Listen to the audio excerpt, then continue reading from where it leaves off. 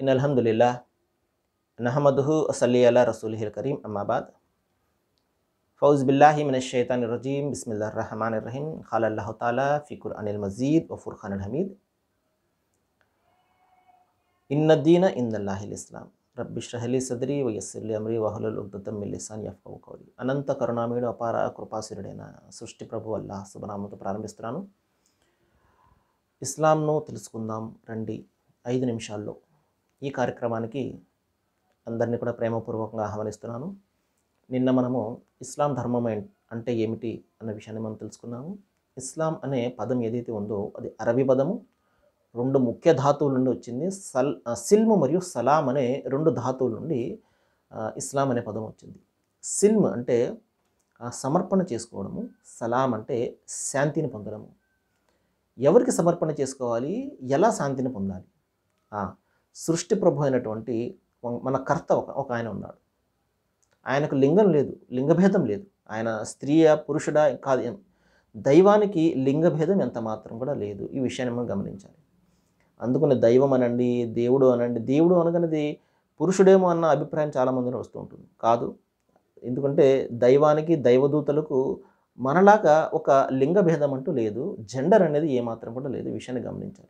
అందుకని ఎక్కువగా నేను దైవం అన్న పదాన్ని ఎక్కువగా ఉపయోగిస్తూ ఉపయోగిస్తూ ఉంటాను. దైవం అంటే మళ్ళీ అది స్త్రీయో లేకపోతే పురుషుడో అని కాదు. అది న్యూట్రల్ అయినటువంటి జెండర్ అది. మహాశలర్ ఈ విధంగా ఆ దైవం ఎవరైతే ఉన్నారో ఆయనకు సంపూర్ణంగా సమర్పణ చేసుకోవాలి మనిషి. అంటే లొంగిపోవాలి. తన విషయాలు ఏదైతే ఉన్నాయో వాటిని పక్కన పెట్టి ఆయన ఇచ్చినటువంటి ఆజ్ఞలు ఏదైతే ఉన్నాయో దాన్ని అనుసరిస్తూ జీవితం గడపాలి. దీన్ని సమర్పణ అంటారు. అంటే కేవలం నాలుగు గోడల మధ్య నాలుగు గోడల ఆరాధనాలయం ఆరాధనాలయం ఏదైతే ఉందో అది గుడి కావచ్చు మస్జిద్ కావచ్చు చర్చి కావచ్చు ఇక్కడ మనం ఆరాధన చేసుకుంటూ ఉంటాం చూసారా? ఇది మాత్రమే దైవారాధన కాదు. బయట ప్రపంచంలో ఉన్నటువంటి నాలుగు గోడల ప్రపంచం ఏదైతే ఉందో నాలుగు దిక్కులు అనుకోండి. ఈ నాలుగు దిక్కుల ప్రపంచంలో అష్టదిక్కులు. ఈ ఎన్ని ఎన్ని దిక్కులు ఉన్నాయి చూడండి. ఈ ఎన్ని ఇన్ని దిక్కుల మధ్య మనిషి ఆ దైవం యొక్క ఆజ్ఞ మేర జాగ్రత్తగా జీవితం గడపడమే రేపు. రేపన్న రోజున నేను దైవం ముందు నిలబడి సమాధానం చెప్పుకోవాలి అన్న భీతితోటి జీవితం గడపడమే మహాశిలరా. ఇది నిజమైనటువంటి దైవారాధన. కాబట్టి ఇక్కడ ఇస్లాం అంటే సిల్మ్ అంటే సమర్పణ చేసుకోవాలి ఆ సృష్టి ప్రభువుకు సమర్పణ చేసుకోవాలి తన ఇష్టాయిష్టాలను పక్కన పెట్టాలి దైవం ఏదైతే ఆయన మన నుండి ఆశిస్తున్నాడో కోరుతున్నాడో దాన్ని మనము అనుసరించడానికి ప్రయత్నం చేయాలి.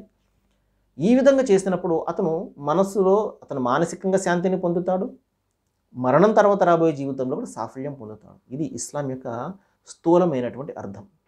ఈ పదం దాని అర్థం. పదం ఇస్లాం అంటే దైవం ఒక్కనికి మాత్రమే ఆరాధన చేయాలి. ఆయన ఒక్కనికి మాత్రమే సమర్పణ చేసుకుని జీవితం గడపాలి. ఆయన ఆజ్ఞమైన జీవితం గడపాలి. జీవితంలో అడుగడుగు కూడా ఆయన ఆజ్ఞమైన జీవితం గడపాలి. కేవలము నాలుగు గోడల ఆరాధన స్థలాల్లో మాత్రమే కాదు. సరే ఇక మహాశలర్ ఇంకా దీనివల్ల ఏంటంటే ప్రయోజనం అన్న ప్రశ్న వస్తుంది. సృష్టి ప్రభు ఏం చెప్తున్నాడు అంటే ఇన్న దీన ఇన్న లాహిల్ ఇస్లాం అంటున్నాడు. దైవం దృష్టిలో ఆయనకు ఇష్టమైనటువంటి ఆచరణీయమైనటువంటి ఏదైనా ఉన్నది అంటే పద్ధతి ఒక విధానము ఒక ఇజం ఏదైతే ఏదైనా ఉన్నది అంటే అది ఆయనకు సంపూర్ణంగా విధేయత చూపడమే అంటున్నాడు. ఆయనకు సంపూర్ణంగా విధేయత చూపి మాత్రమే మనిషి తన యొక్క ఇహ పరలోకాల్లో సాఫల్యాన్ని పొందుతాడు అంటున్నాడు. ఎందుకండి ఆయనకు మనం విధేయత చూపాలి? ఏం చేశాడు ఆయన మనకు? అన్న ప్రశ్న వస్తుంది. మనం ఒకరికి విధేయత కానీ కృతజ్ఞతలు కానీ ఎందుకు అర్పిస్తాము? ఒకటి అతను మనకు ఏదైనా సహాయం చేసి ఉం- ఉండి ఉండాలి. అతని అతనికి సంబంధించినటువంటి ఏదైనా మన వద్ద ఉండి ఉండాలి. అతని సహాయాన్ని మనం పొంది ఉండాలి. లేదా బాగా బలవంతుడైనటువంటి వాడే ఉండాలి. ఏదైనా తప్పు చేస్తే శిక్షిస్తాడని. మంచి చేస్తే ఆయన ప్రశంసిస్తాడన్న ఆశ భయము ఒకరి పట్ల ఉన్నప్పుడు తప్పనిసరిగా అది భయాన్ని కలిగిస్తుంది. ఇక దైవం పట్ల మనకి ఎందుకు ఆ భీతి ఆ భయాన్ని కలిగి ఉండాలి అన్న ప్రశ్న వచ్చినప్పుడు మహాశలరా ఒకటి ఆయన అనుగ్రహాలు మనం పొందుతున్నాం. అనేకమైనటువంటి అనుగ్రహాలు పొందుతూ జీవితం గడుపుతున్నాం. అందుకనే ఆయనకు మనం కృతజ్ఞతలు అర్పించాలి. ఇంకా అనే ఆయన మనకంటే శక్ మన మనము మనుషులము మనుషులందరికంటే కూడా శక్తివంతుడు ఎవరైనా ఉన్నాడు అంటే అది కేవలము దైవం మాత్రమే కాబట్టి దానికోసమైనా మనము ఆయనకు భయపడాలి లొంగి జీవితం గడపాలి. ఇది టూకిగా ఇస్లాం యొక్క మౌలికమైనటువంటి అర్థము. మరి మరికొన్ని విషయాలు మనము రేపు తెలుసుకుందాము. వాకిరుద్దావానా అని అల్హమ్దుల్లాహి రబ్బిల్ ఆలమీన్. అస్సలాము